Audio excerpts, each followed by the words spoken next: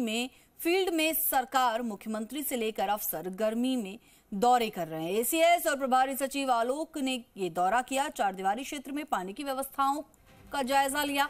अस्थायी आश्रय स्थलों का जायजा लिया। प्रभारी सचिव ने इस दौरान विज़िट किया और जी मीडिया से बातचीत में उन्होंने कहा कि जयपुर में अच्छी व्यवस्था, गाँव में बिजली और पानी आपूर्ति को लेकर भी उन्होंने बात की। उन्होंने कहा कि गाँव में दौरा किया है, शिकायतों का समाधान किया जा रहा है।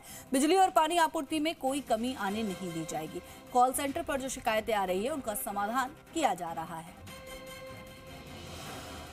हीट वेव गर्मी सरकार फ़ील्ड में है, अफसर दफ्तर छोड़कर फ़ील्ड में है। एडिशनल चीफ सेक्रेटरी, यानी कि जो प्रभारी सचिव हैं, वो इस गर्मी में लोगों की समस्या जानने के लिए फ़ील्ड में निकले हुए हैं। एडिशनल चीफ सेक्रेटरी एनर्जी और जयपुर के जिला प्रभारी सचिव हैं आलोक जी सर। कल आपने हीट वेव मैनेजमेंट को लेकर बैठक ली। आज आप अलग अलग जगहों पर गए।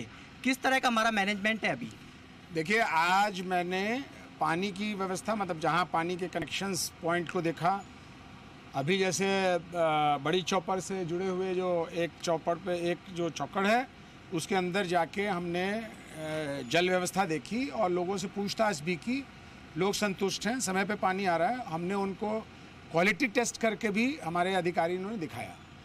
आ, सरकार की चिंता ये भी है कि क्योंकि जयपुर एक बड़ी सिटी है लोग बाहर से काम काज से आते हैं और बहुत लोग गरीब लोग होते हैं उनके लिए भी जगह नहीं होती है। कुछ लोग ऐसे गाँव से आते हैं किसी कारण पर तो उनके लिए आश्रय स्थल की व्यवस्था है। वैसे तो बहुत लोग यहाँ पे नहीं है, लेकिन ये आश्रय स्थल की व्यवस्था है और आपके दूरदर्शन और आपके माध्यम से लोगों को ये जानकारी होगी कि इस तरह की आश्रय स्थल की व्यवस्था भी नगर निगम द्वारा की जा रही है, जिसमें कूलर है बिस्तर है साफ़, टॉयलेट साफ़ है और पीने का पानी है। भोजन की व्यवस्था हम इसलिए नहीं करते हैं कि पता नहीं रहता कितने लोग हैं, क्या हैं, ये आमतौर पे उपलब्ध भोजन ही करके यहाँ पे आ सकते हैं। जैसे आपने देखा बदाऊं से एक महिला दीदी आई हैं जो कि बीमारी दिखलाने के लिए आई थी और उनको भी यह सुविधा मिल रही है। साथ में हम लोगों ने पी भी देखे। पीएचसी पे जो संगानेर में जैसे है, उसमें जो दवाई की व्यवस्था है वो पूर्ण है। डॉक्टर भी वहाँ पे हैं और लोगों को जो भी दवाई चाहिए, जो व्यवस्था चाहिए, वो मिल रही है। अगर किसी प्रकार की परेशानी आए तो प्रशासन और पॉलिटिकल मास्टर्स और जो उनके जनप्रतिनिधि है, सभी उनके सहयोग के लिए तैयार हैं और ऐसी व्यवस्था बनी हुई है। ये बड़ी अच्छी व्यवस्था है राजस्थान की, जहाँ पे कि लोग उनको मदद करने के लिए, अपने कर्तव्य निभाने के लिए।